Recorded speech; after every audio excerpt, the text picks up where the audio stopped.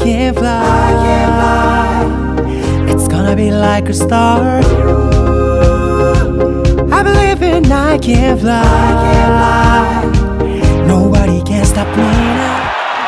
はい、今回は関西大学対京都大学戦より関西大学のキャプテン森岡選手に来ていただきましたお疲れ様ですえっと今日はすごい大差で京都大学に勝ちましたが今日の試合を振り返っていかがでしたか？そうですねやっぱり僕らはその練習量とかその練習の質とか求めて、えー、京大さんよりもやっぱりやってきたっていう自信があったので、えー、このぐらい点差をつけるっていうことを目標にしてやったのでとりあえずは、はい、良かったと思います。はい京都大学3点フィールドゴールだけで抑えられたのには森岡選手のインターセプトもあったと思うんですけど、はいいかがでしたか？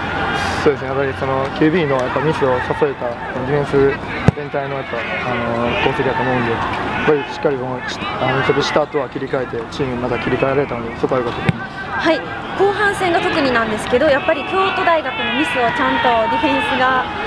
活かせてたなっていうのがありました。はい、次戦は立命館大学戦ですけど、春は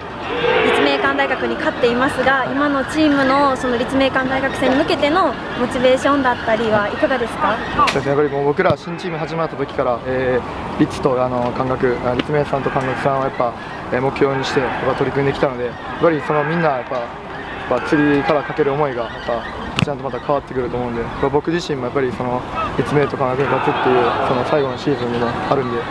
あの気持ち入れてやっていきたいと思います。はい次の立命館大学対関西大学戦はファンの皆さんもすごい注目してたくさんの人が見に来ると思うんですけど、ファンの皆さんによかったら最後にメッセージをお願いします。えー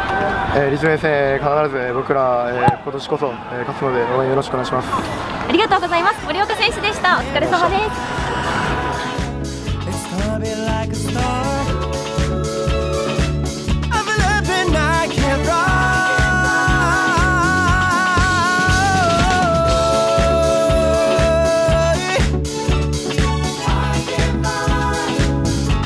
be like a star.